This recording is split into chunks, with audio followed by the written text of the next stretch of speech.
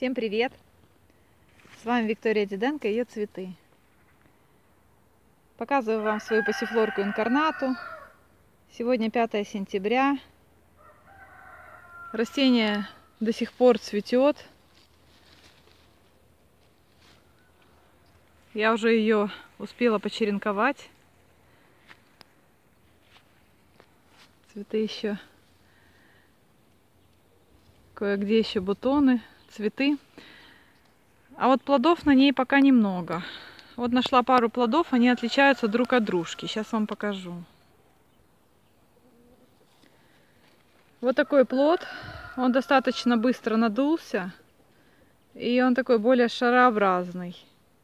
Он появился позже, чем другой. Вот я сейчас покажу другой. Тот более вытянутый. Возможно, мне попалось два разных сорта.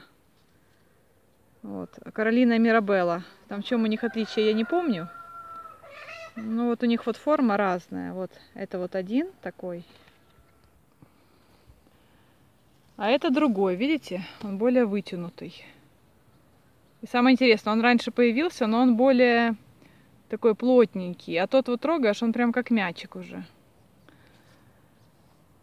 Ну вот такие вот у меня инкарнаты. Конечно, я ожидала, что плодов будет намного больше.